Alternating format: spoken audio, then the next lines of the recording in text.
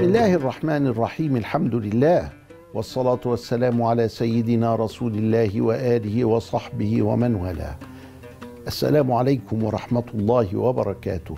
ومع أحاديث الصيام في شهر الصيام نعيش هذه اللحظات.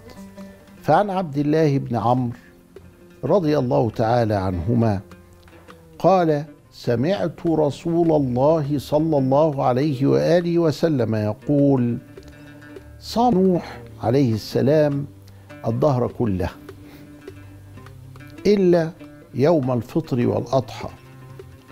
وصام داود عليه السلام نصف الدهر فإنه كان يصوم يوما ويفطر يوما.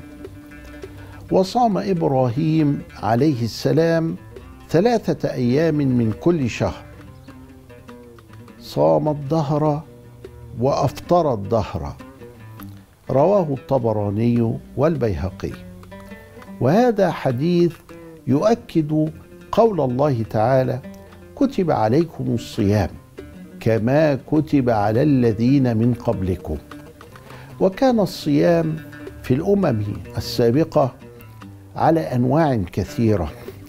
منه ما كان شبيها بصيامنا مثل الامتناع عن الأكل والشرب من زمن معين حدد في شريعتنا بالفجر إلى زمن معين حدد بالمغرب بغروب الشمس.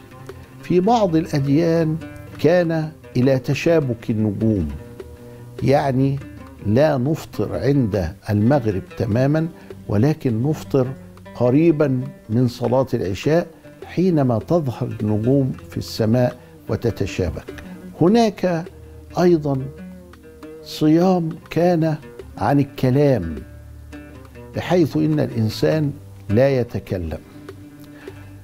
إني نظرت للرحمن صوما فلن أكلم اليوم إنسيا.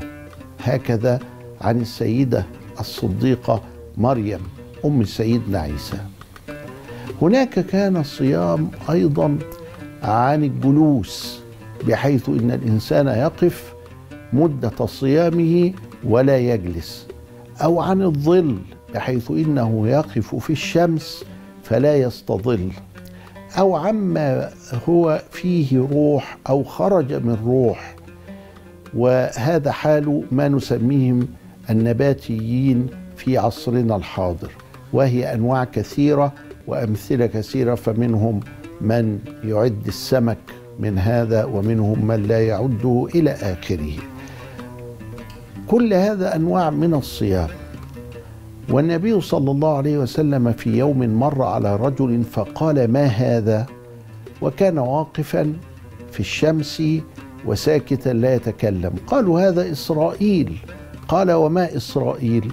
قالوا نذر أن يقف فلا يجلس وأن يكون في الشمس فلا يستظل وأن يصوم وأن لا يتكلم.